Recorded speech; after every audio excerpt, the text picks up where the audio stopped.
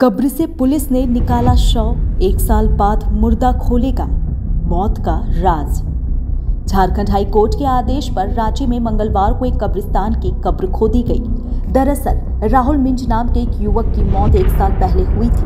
मौत संदिग्ध परिस्थितियों में हुई थी, इस वजह से परिजन कोर्ट चले गए। कोर्ट के आदेश के बाद राहुल मिंज के शव के अवशेषों को कब्रिस्तान से निकाला गया। रांची के मोराबादी इलाके के सरटाट निवासी राहुल मिंज की मौत संदिग्ध परिस्थितियों में 2 जून 2022 को ही हो गई थी। इसके बावजूद शव को दफना दिया गया।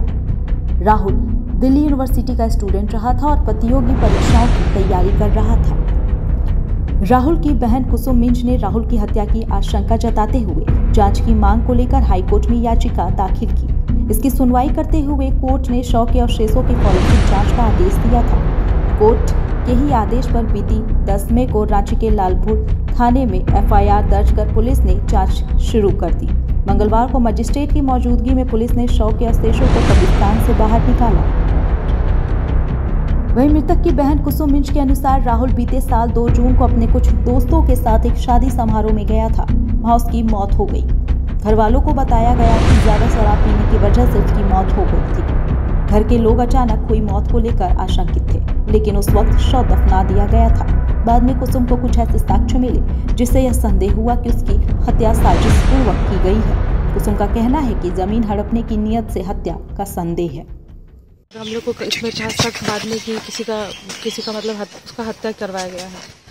तो उसी की वजह से हम लोग कंप्लेन करवाए थे और कोर्ट का ऑर्डर कोर्ट का ऑर्डर नहीं आया था कोर्ट का ऑर्डर था कि एफआईआर करिए। तो उसी में पुलिस लोग को जवाब देना है तो उसी पे ये कार्रवाई चल रही है। ये हत्या हुई है? सर देखिए बिल्कुल स्वस्थ था कुछ भी नहीं हुआ था उसको है ना? और वहाँ पे सिर्फ़ शादी में सेलिब्रेट करने गया था शादी में गया था और अचानक से पता चल रहा है कि ऐसा हो गया। और उस उसमें मतलब बॉडी का सिम्टम से कहीं नहीं लग रहा था कि ओवर ड्रिंक की वजह से हो रहा है क्या हो रहा है। जीप थोड़ा सा बाहर निकला हुआ था और दांत, ये जॉ जॉ लाइन उसका पूरा टाइट था।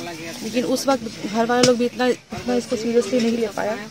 और बाकी लोग इतना अफवाह फैलाया ना कि खुद से हुआ ड्रिंक की वजह से हुआ है, जो भी रीज़न बताया। लेकिन हाँ बाद बाद में इसके बारे में हम लोग को धीरे धीरे पता चला।